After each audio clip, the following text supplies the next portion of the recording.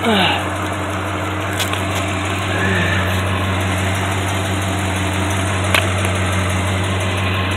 rust in the rockers. Rockers are good, solid.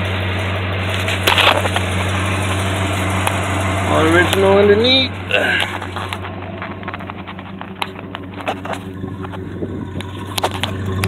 Here.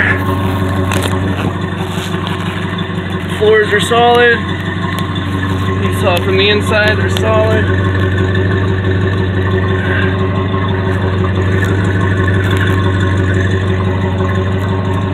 Frame rails are good.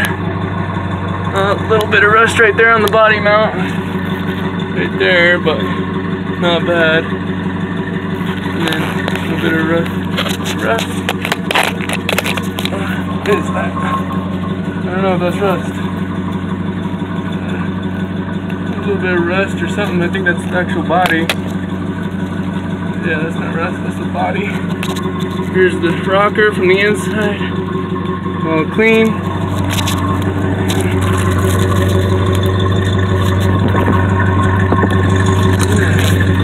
The other side, all good, not rusted.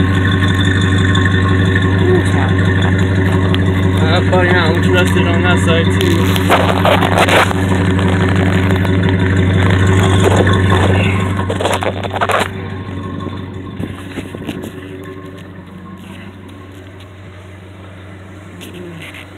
And of course the vinyl top, it's got the bubbles in it. Not perfect, but this is my daily driver. Big, nice tranny cooler, big heavy duty unit. New battery. Ooh, and I have all the original wheels with new tires on them interested, see, good tread, all the original hubcaps.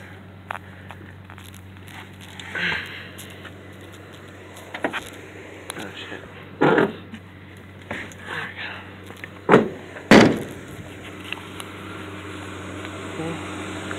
Let me know any other questions inside uh, power windows, this switch doesn't work, but it works from the other side. These quarter windows do work, but they're slow, so gotta take them apart and lube up the track. But the windows work, these front windows work good. Really good, because I did take those apart and lube them.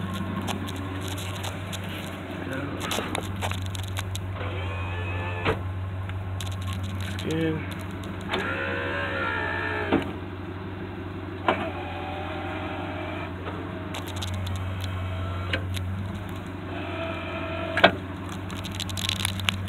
Hell yeah. There's mileage. I doubt that's original, but runs like it is. Headliner's nice. Super nice. No tears at all. Got the seat belts.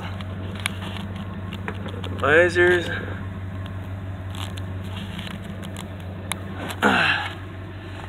The hook thingy. Fuse went out for the dome light, but or the courtesy lights, but they do work.